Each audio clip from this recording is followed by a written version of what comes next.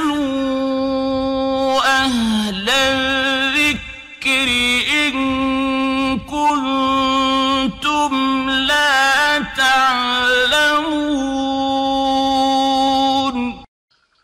ওয়ালাইকুম আসসালাম রহমতুল্লাহ বরকত সম্মানিত বোন জানতে চেয়েছেন যে কারোর বাবা কারোর আব্বা যদি ছেলে মেয়েদের সাথে বা স্ত্রীর সাথে গালিগালাজ করে তাহলে সেই সন্তানরা তার পিতামাতাকে বা তার আব্বাকে ধমক দিয়ে কথা বলতে পারবে কি না আল্লাহ সুবাহতাল্লাহ বলছেন, তোমরা পিতামাতার সাথে ধমক দিয়ে কথা বলো না।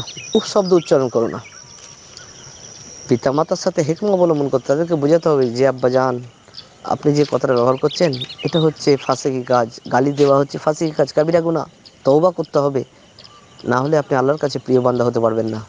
কিন্তু ইসলাম কখনো অনুমতি দেয় না যে পিতামাতার সাথে তোমরা খারাপ ব্যবহার করো। পিতামাতা যতই সন্তানদের প্রতি খারাপ ব্যবহার করুক, আমাদের যেটা কর্তব্য, আমাদেরকে সহ্য করতে হবে, ধৈর্য ধরতে হবে, হেকমা অবলম্বন তাদেরকে বোঝাতে হবে, কিন্তু ইসলাম অনুমতি দেয় না পিতামাতার সাথে খারাপ ব্যবহার করো। রাসুল সাল্লাহ সাল্লামকে এক ব্যক্তি বলল, আমার মা তো খুব খারাপ কাজ করে, নোংরা কাজ করে, ব্যবচার করে।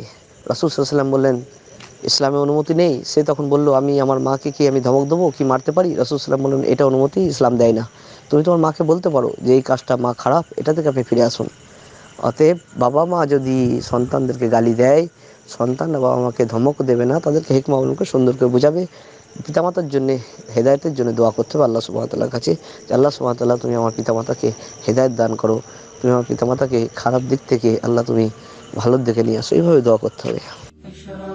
نفسي في من فؤادي حينما رددت يا رب العباد